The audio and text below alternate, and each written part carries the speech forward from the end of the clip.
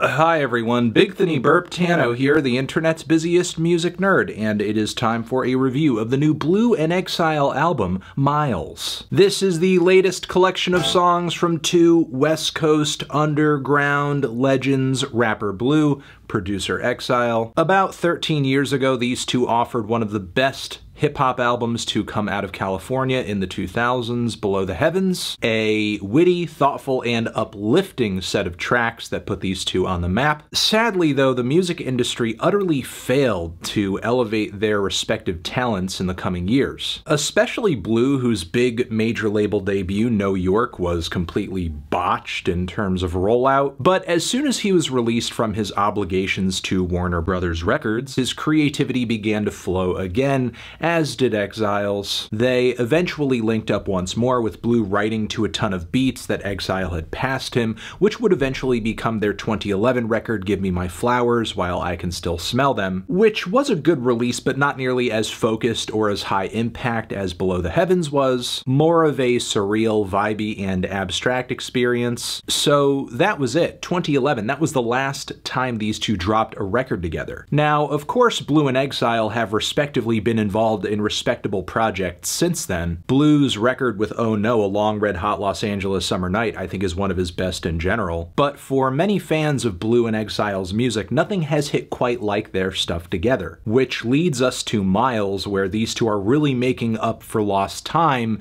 with 20 tracks and 95 minutes of material. There are actually multiple tracks on this thing that reach 5 minutes, 6 minutes. The song Roots of Blue breezes past 9 minutes without an issue, and it's just Blu rapping. There are quite a few tracks here where Blu is bringing back that fabled third verse, and sometimes even the fourth verse. So Blu and Exile aren't just giving a lot on this record, they're asking a lot too, because this is a lot of material. But miraculously, the songs on Miles aren't really all that hard to appreciate. Somehow this album has managed the laser-focused conceptuality of Below the Heavens, but reaching a few layers deeper, while also pulling off off the pillowy, textured, jazz-laced ecstasy of Give Me My Flowers, but uh, again, like a, a, a bit uh, elevated in terms of quality and detail. So yes, the sound of this record for Blu and Exile, it is familiar. This is familiar territory, but simultaneously, the both of them sound wise beyond their years at this point. Blu seems to have so much more personal experience to pull from in his bars, as he dives into fatherhood, spirituality, America, hip-hop, jazz. You could make a whole EP of the songs on this album where he's just going at the blue angle on this record. Blue as I Can Be, All the Blues, You Ain't Never Blue, just to name a couple. And it's interesting that Blu can approach a topic on a song and then return to it later on the album with a different reference point or a different angle and still have it sound refreshing. Whether it be the song Miles Davis, where Blu is going on about mastering his artistic craft, or retelling the personal story and history of Miles Davis on the song All the Blues. And then with Spread Sunshine, with the constant mention mentioning of traveling miles and miles to this place and that place and this place. It's a really cool characteristic to the album that makes the entire hour and a half of it feel really cohesive, since most of the tracks seem to be narratively linked together like a labyrinth of secret caves. Now, before I get into the specifics of some of the tracks here, keep in mind the vast majority of the large amount of material on this record is impeccable. I didn't really get the sense that any of what I heard here was throwaway, or filler just to kill time. And the magic behind these songs is pretty simple. Beats and rhymes good beats and rhymes. Some of the best beats and rhymes Blu and Exile have been responsible for. The production highlights on this thing are many, really too many to name, but I do love the dramatic and unlikely groove and surreal vocal samples and angelic strings on the opener. Blue, Then we get the booming kicks and what sounds like ba bum ba barbershop style vocal harmonies on When the Gods Meet. I'm very unsure about the origin of this vocal sample or really the style that it's supposed to be embodying, but I do love what it's doing for the track aesthetically and I think Exile chops it up beautifully. The thick rush of keys that hit the high contrast chorus on the song are absolutely perfect too.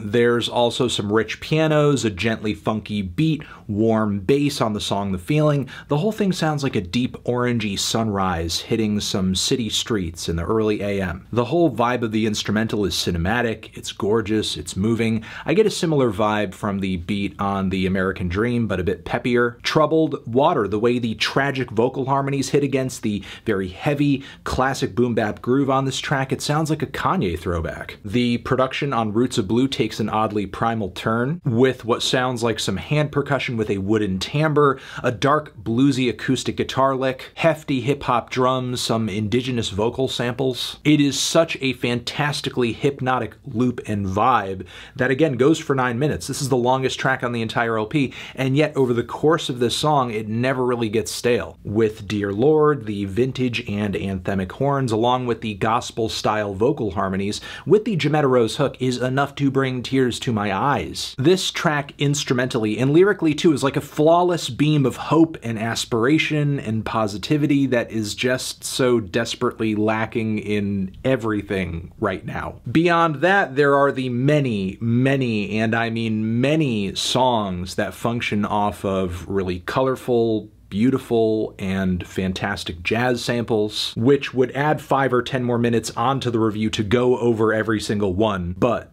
there is a lot of high quality production on this record, and Blu does some great things with it. Whether it be the color based wordplay on the intro to the record, which I think is really smart, thoughtful, and inspiring, or the song The Feeling, where Blu goes over essentially how the music industry kind of chewed him up and spit him out, but for him, of course, to live to see another day, tell the tale, and creatively come out ahead. Music is My Everything sees Blu rapping about his earliest introductions to pop popular music and the way his life intersected with it beyond that, including his mom marrying a preacher who said that secular music was off limits, essentially. These are just a few of many tales of personal progression on this album, including Bright as Stars, which not only has a great guest feature from Freestyle Fellowship's Aceyalone, but if you listen close here, you'll also hear Blu rapping about uh, starting out rapping and wanting to uh, essentially hit listeners with really materialistic and uh, conceited bars, but then growing beyond that because he felt like he wasn't being true to himself. Blue as I Can Be then stands out for its relentless flows and super intricate rhyme patterns, Blu's performance here is just incredible. Troubled Water as well scratches a similarly flashy itch. Then with Miles Away, we see Blu getting nostalgic, sentimental, rapping about being away, traveling, others being away, talking about people he knows caught up in the prison system or his cousins being drafted. But then simultaneously, the song is also about traveling miles, moving forward, progressing, changing. Just one more super thoughtful moment on the record, essentially. Then, to go back to the track Roots of Blue,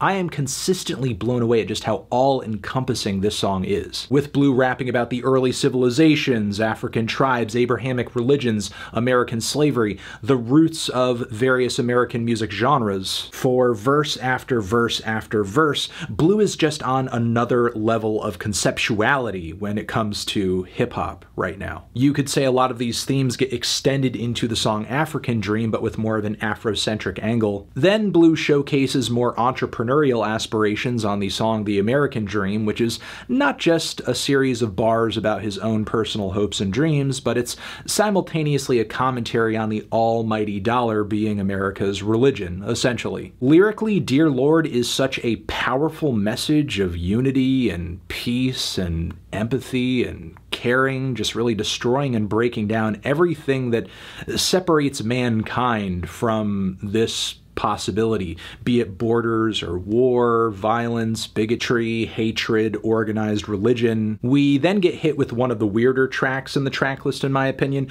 To the Fall But Not Forgotten. There are some cultural figures that he name drops that, you know, might not be the best. I mean, uh, like Fidel Castro or Dr. Sebi, whose scientific methods weren't exactly like, you know, proven. So, truth be told, there are some questionable bars on this record here and there, but the lowest points on the album I found to be just underwhelming, whether that be on the kind of bland True and Livin', whose verses I found to be uh, kind of feel good but somewhat vague in their intentions. Then the song You Ain't Never Blue features some rapping from Exile, who, yes, also does rap, although he's not known to do it particularly well, and that is very much apparent in this this track here where he is lyrically going up against Blu. The color the sky, water in my eyes line is kind of strange. That other flubbed bar where he says put the sorrows in the verse and then it's like like there's there's something that feels lost in translation at this point, and then the, the get dap part of the line. If you listen to it, you'll know what I'm saying. There's definitely something like missing from this part, or there was a stumble, or uh, whatever. Big blue soul, you ain't even have a little.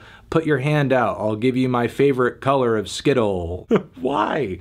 Why? Outside of those moments, though, this record is great. I love this record. I think it's a fantastic record. One of the best hip hop projects in either artist's discography, potentially the best hip hop project of this year, and I think it's going to be a while before we hear a jazz rap album that steps to this one in terms of just how massive, creative, and well crafted it is. Feeling a light 9 on this one? Transition, have you given this album a listen? Did you love it? Did you hate it? What would you rate it? You're the best, you're the best. What should I review next? Hit the like if you like, please subscribe, and please don't cry. Hit the bell as well. Over here next to my head is another video that you can check out. Hit that up or the link to subscribe to the channel. Anthony Fantano, music, forever.